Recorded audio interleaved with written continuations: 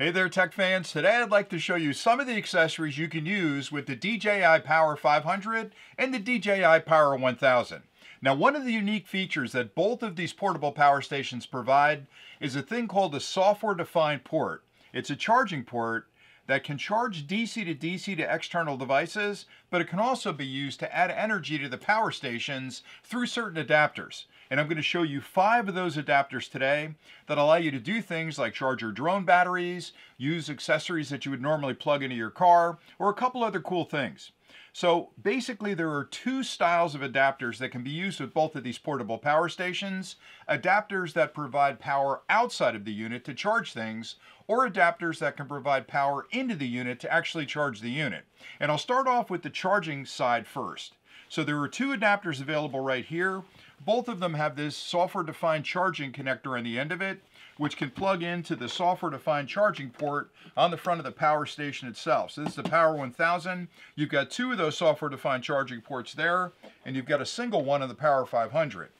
These two charging accessories start off with the MPPT external. Now what this allows you to do is to connect up a solar panel to the unit. And on the back you'll find three connections right here that allow you to plug in three solar panels at the same time. Those are standard accessory connectors for a solar panel and a software-defined connection right here.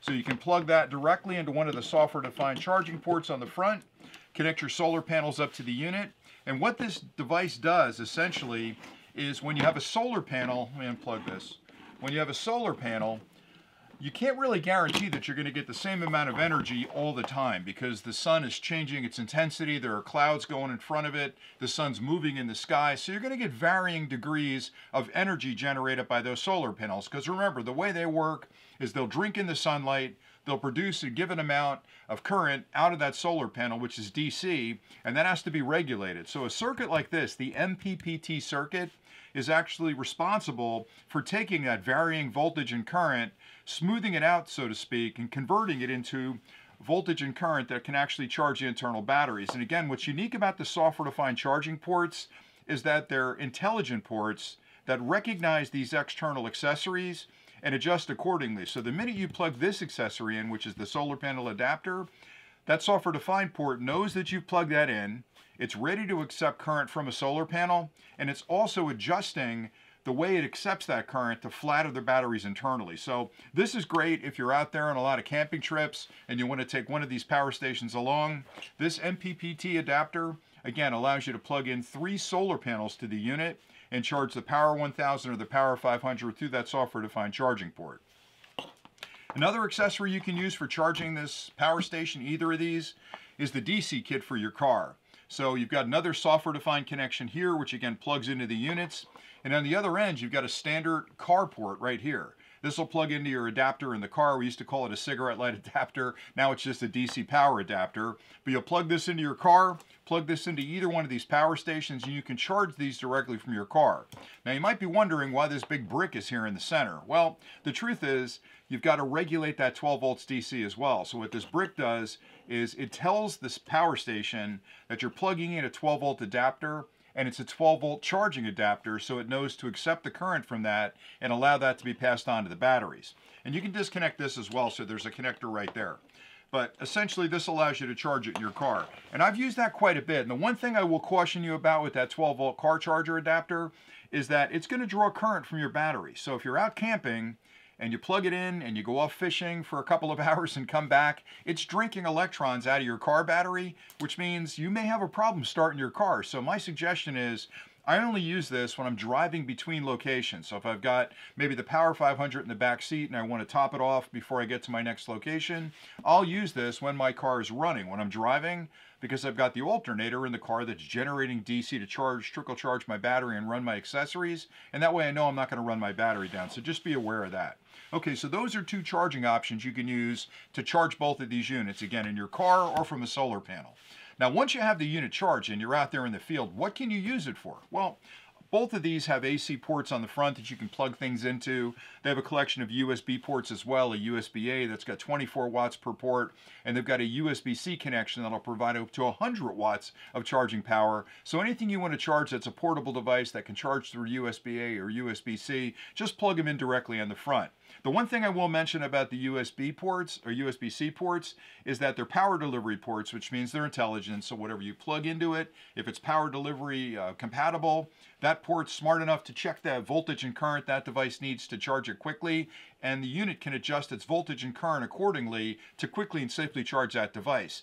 Those USB-C ports are incredibly powerful as well. They're 100 watts each. That's a lot of power coming out of a USB-C port. Most portable power stations on the market, you're lucky if you get 30 watts, 45 watts, maybe you're going to get 60 watts. But having two ports on these at 100 watts each means those ports can charge things like laptops, larger tablets, portable game consoles. You can charge your drone batteries from them. But the challenge with USB ports is they have a limited amount of current that comes out of those ports. And the reason the software-defined ports are more powerful is because of the intelligence built into those uh, software-defined charging ports. Now, if you're going to charge external devices, a really basic adapter is this one, which allows you to plug this into a software-defined port, and it provides another DC port, just like in your car. So if you've got accessories you would normally plug into your dashboard in your car, you can plug this on one of the solar uh, power stations here and actually use this to charge that 12 volt device. So this is handy. I use this quite a bit in my car because I have a lot of car chargers I'm using out in the field and that allows me to plug it in and, and charge those devices. The two that I really like though are the ones I use for my drone batteries. Now I fly the Mavic 3, I fly the Air 3, I fly a bunch of drones, but those two are my favorite drones that I take out in the field with me all the time. And using the USB hub, even the 100 watt hub on a USB-C port like this, could take quite a while to charge those batteries. Depending on how depleted they are before I start the charge cycle, it might take me up to an hour, an hour and a half in some cases to charge those batteries because they're really big batteries. I mean, here's the Air 3 and here's the Mavic 3. So these are gigantic batteries. And the challenge with USB is that it can't really deliver the current at speed to charge these quicker than a standard USB would charge it. So even at 100 watts, again, maybe an hour, hour and a half to charge these fully. The beauty of the SDC port is that the adapter, once it plugs in, it immediately knows that I'm plugging in an adapter, in this case, for the Mavic 3 battery. And the intelligence in the base of this says, hey, I'm plugging in a Mavic 3 battery. Make sure when I plug the battery in that the intelligence in the power station checks the current voltage and current level of the battery and makes the adjustment to charge it quickly. Now, why can this port charge it faster than the USB port? Well, for starters, it's a DC to DC charging, which is the most efficient. If you've got an EV, when you go to one of those uh, high performance charging stations at your local convenience store, when you plug that EV in, it's going to charge incredibly quickly because it's DC to DC. It's a very similar thing of what's going on here. What happens when you bring it home? Well, you're charging it off of AC, which takes a lot longer. Even if you have a converter in your home, you can't possibly charge it as quick. What you've got here is that high-speed connection, just like those high-performance chargers at your convenience store to charge the battery. So when I plug the battery in here, it immediately checks the battery to see what the charge level is currently, and it makes whatever adjustments are needed to quickly charge that battery. Now, I've been using these for, gee, six months at this point, and I can tell you, out in the field when I'm flying the Mavic 3, I can put the drone up, I can charge a battery. While I'm flying that drone, that battery's charging. And if I get 35 minutes, 30 minutes out of a battery and land it, because I like to leave a little in there so I'm not panicking, um, I can pop the battery out of that base, put it in the drone, put it back up in the air, and pretty much fly continuously as long as it's not a really hot day. And that's another concern. When you're charging drone batteries and you've been flying for a while, they're going to be warm. Don't take them right out of the drone and put them in a charger. You want to give them some time to cool down because the battery technology inside these really doesn't like to be charged when they're hot. And when you're flying, you're drawing electrons out of the battery. It's going to heat up a little bit. You want to give it some time to cool down a little bit. And if it's a really hot day, you might want to put it back in the car and turn the air conditioning on a little bit to give it some time to cool down. But anyway, back to the battery. So that's the Mavic 3. There's also an adapter for the Air 3, which plugs into the end of the battery like this. And again, I can plug it into the software-defined port over here.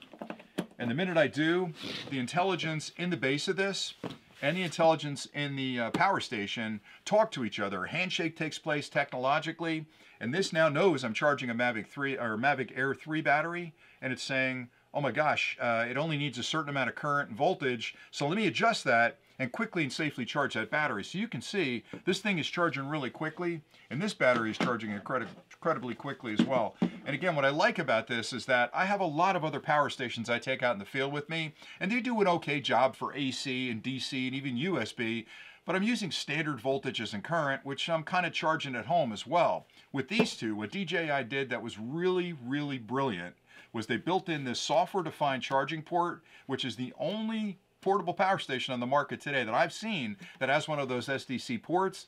And then they came out with very specific adapters that flatter what you're trying to charge or give you different ways to charge the power station. So this whole setup, this whole ecosystem really is a clever way to provide portable energy any unit that's portable. You can take it out in the field with you, but not only give you the standard AC, DC, and USB, but give you these incredibly smart software-defined charging ports that allow you to quickly and safely charge your external devices. And in most cases, the batteries for your drone are going to charge so much faster on these two portable power stations than anything else out there on the market. They even charge faster from these power stations than they do when I plug them into a charger at home, and that's pretty incredible. So that's all I really had for today. Those are the five accessories that I've been using for the last couple of weeks. They all work great. They're all reasonably priced, they're incredibly easy to use, and they're rock solid, just like you'd expect from DJI. So hopefully you found this review helpful. Thanks an awful lot for watching.